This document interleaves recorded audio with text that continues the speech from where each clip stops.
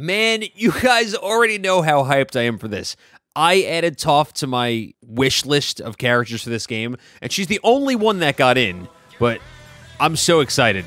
She's one of my favorite characters in The Last Airbender. We got a true Earthbender now, and I was just saying, like, I really hope that the Toph stuff is true, and it turns out that it was. She's got a big range on some of those special attacks. And she creates, like, the stone dummies. Yeah, uh, my hype for this game skyrocketed as if it wasn't already high enough. I think I'm gonna be playing. You, you know what? Let's watch the because uh, they also dropped the the gameplay overview. So let's do that next. Why they beating Patrick up? Again, leave my boy alone. These are gonna be my two mains, though. I think I'm gonna main Patrick and secondary Toph. I feel like she's gonna be the type of character you're not really gonna use much in the air because if her aerial attacks are so bad, but her special attacks are so good, just like stay on the ground and, and earthbend. I do like that they took that into account. Like, she's an earthbender, so keep her grounded. So we have what, like one character left, and we don't know who it is?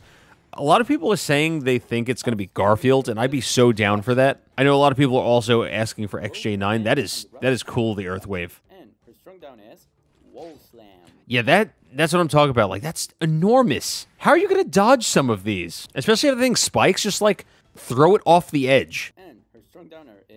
A spike. It's a weird attack, but whatever. Oh, she can create platforms? So she's Kragg from Rivals of Aether. Toph's neutral special is Boulder Hurl. Okay, that's not a boulder. That's a pebble. That is a pebble. The longer the charge, the larger the boulder. So that's a boulder. That's that's my kind of boulder. Okay, so she can hold on to it. That's cool creates a boulder above her.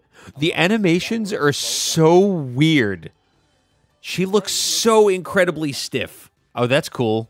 You just drop that for anyone trying to get back to ledge. Oh, hold up. So these are her specials. So the uh, the wall was not her special. They got the they got the cabbage man. Where is he? There he is in the back. Show me the nasty Toph combos. So that wall and the the clay warrior, I assumed they were her special attacks, but it looks like they're her strong attacks. Oh my god, I love that. I love that. You create a platform and just drop a wall off it. Poor Patrick, man. Patrick doesn't deserve any of this. I told you, my mains, they just, they get abused. They live to be abused.